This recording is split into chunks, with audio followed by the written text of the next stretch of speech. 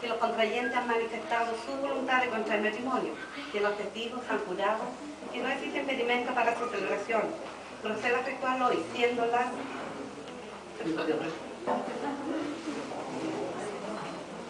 No eres. En presencia de los testigos juramentados y testigos presenciales que nos acompañan.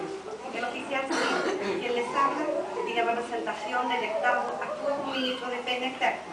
Habiendo dado lectura a los artículos 102, 131, 133 y 134 del Código Civil, lo declaro casado por la facultad que me confiere la ley.